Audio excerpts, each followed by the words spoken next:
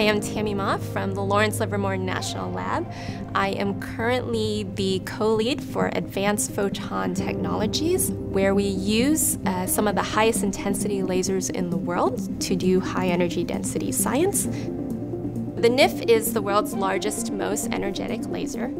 And what we do is we take the energy of those 192 laser beams and we use them to compress a little fuel pellet containing our deuterium tritium fuel.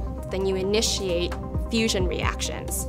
And if you do it right, um, you start a propagating burn where that little bit of fusion um, starts heating up the rest of the fusion fuel, and then you can actually generate a lot more energy out than you put in with the lasers. And that is our definition of ignition.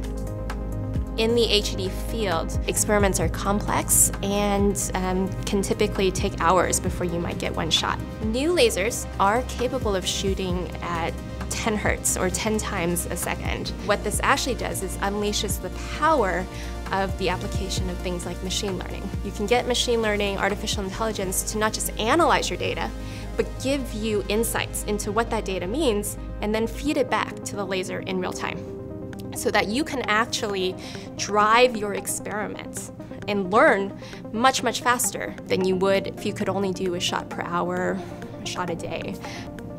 The idea with cognitive simulation is connecting simulations with experiments through machine learning to learn about not just the end product, but all of the, the fundamental science in between. For example, there are a number of things in a laser plasma experiment that you don't directly measure. Temperature is one that is notoriously difficult to measure. So what you can do with machine learning and these models that you build up is you can directly probe those things that are invisible to you. Change something on the front end, get something else on the back end. What happens in the middle?